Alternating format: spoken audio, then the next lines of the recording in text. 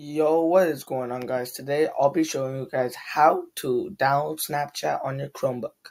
So first things first, you want, I know this is a different kind of videos, but who cares? I, I think it's a pretty good idea. I'm just to show you guys how to. So first things first, you want to press escape plus your refresh plus the, as you can see, I just refreshed the page. So press escape, refresh key, and push the power button at the same time, when the Chrome OS is, don't worry about that part, because this is how you add another account. Because if you have a school, if you have a Chromebook and it's yours for school, and you log into your account, sometimes you can't add another account. So you want to do this, and after you do Control plus D, and then you can add another account then click do the same process process again and you'll exit developer mode. Then what you're gonna want to do is go to your launcher.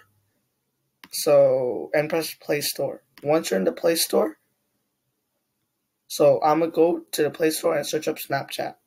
Okay, once you're in the Play Store, it should look like this. You want to press download. It should take like maybe five minutes. It's a bit slower than like regular apps. You press open and there you go. You have Snapchat. And hello.